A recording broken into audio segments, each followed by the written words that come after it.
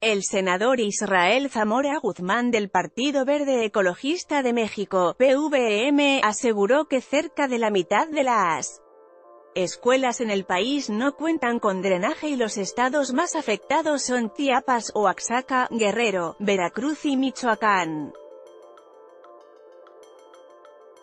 Con el mayor número de centros educativos sin este servicio sanitario.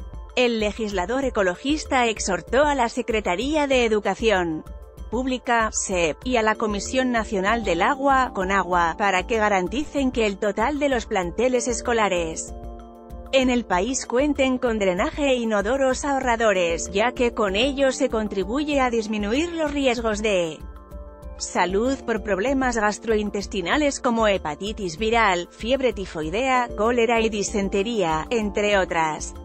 Subrayó que hay 43 municipios sin servicios de agua potable y alcantarillado.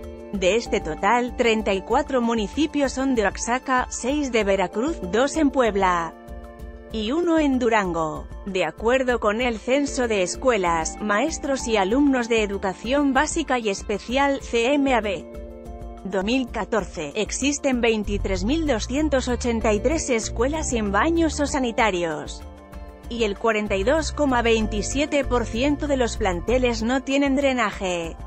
Ante esta situación, la Comisión Nacional de los Derechos Humanos advirtió sobre la gravedad de esto, ya que pone en riesgo la salud de los escolares y el interés superior de la niñez y adolescencia. El legislador advirtió que esta situación no puede continuar así, a pesar de que México cumple adecuadamente las metas de la Agenda 2030 relativas al saneamiento. Muchas niñas, niños y adolescentes estudian en condiciones que afectan negativamente su salud y educación.